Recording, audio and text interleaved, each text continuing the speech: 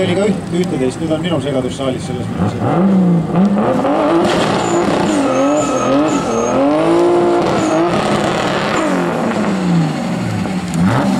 vähemalt osad inimesed said eemalduse osaliseks. ja isegi väga korraga.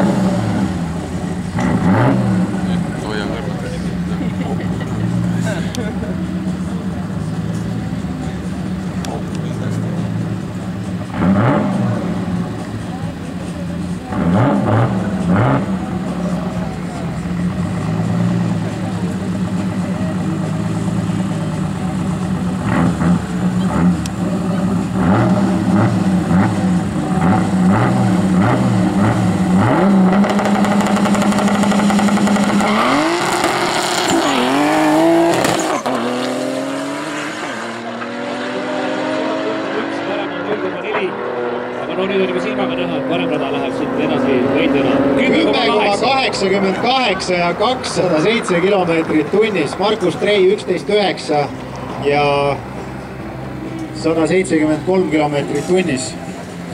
selline, sellised nii-öelda olid, olid need tänased sõidud, autasustamine on meil umbes kümne, maksimaalselt viieteist minuti pärast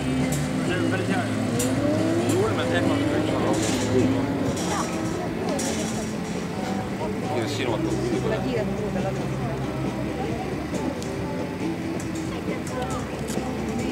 autasustamine siis nagu öeldud kümne minuti pärast siinsamas stardialas.